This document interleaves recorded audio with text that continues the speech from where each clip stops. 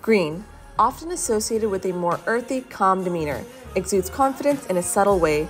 It's the color of nature, representing tranquility and trustworthiness. Pink represents a tender lovingness, often associated with empathy and compassion, yet brighter shades can bring about an aura of strength and a natural confidence. Red is a vivid and powerful color that really represents a sort of effortless assertiveness, a visual representation of energy and passion.